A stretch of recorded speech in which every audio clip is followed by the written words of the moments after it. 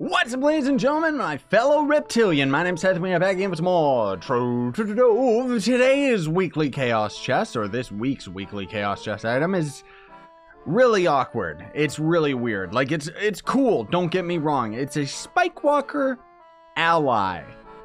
But what's weird about it is, like, come on, devs. It's a Spikewalker ally. It doesn't belong in the Chaos Chest, it belongs in the Shadow Towers. Like, what is with that, man? That's like super duper lazy. Just throw it into the Shadow Towers, even if it's just something we craft from the Shadow Tower merchant. It doesn't have to be something that we inherently end up getting from Spikewalker as a drop specifically. Make it so that we can craft it with Titan Souls. Like, come on, dude. Otherwise, it's very adorable. Just a cute little version of Spikewalker. We're rocking the Spikewalker uh, outfit for the Chloromancer as well, which is really weird and doesn't really match Spikewalker at all. But this little guy, oh man, next thing we need a Dreadnought mount reskin that is Spikewalker. People have already modded it.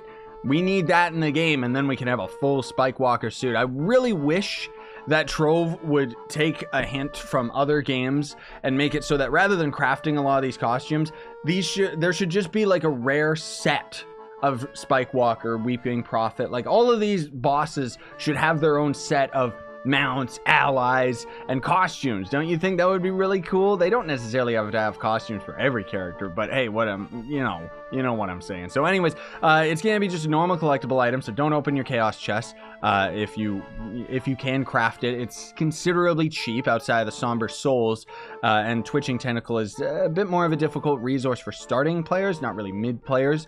But the chaos core standard 30,000 flux, obviously 150 tentacles, which yeah, I mean we use that much re-rolling our gear. 100 bleach bone, which that's super duper easy, and then 25 somber souls. Now somber soul is a ore that you can only end up find, uh, finding in the Cursed Vale. So it's not difficult, but it's just kind of RNG whether or not you're going to end up actually finding the ore. And then the ally itself is not too bad. He's got 15% to crit damage and 10% physical damage. So not a bad not a bad starting ally for physical based characters if you don't have the opportunity to end up getting say the Luxion Dragon ally which obviously is a little bit better uh, for starting players but this one at least is really really cool anyways this video doesn't need to be longer than that Thanks for watching, everybody. Thanks for listening to my opinions. If you enjoyed the video, don't forget to like, sub, hit that notification bell. You guys know all this stuff. And if you want to support me, there's links down below in order to do so. Sayonara and stay epic, everybody.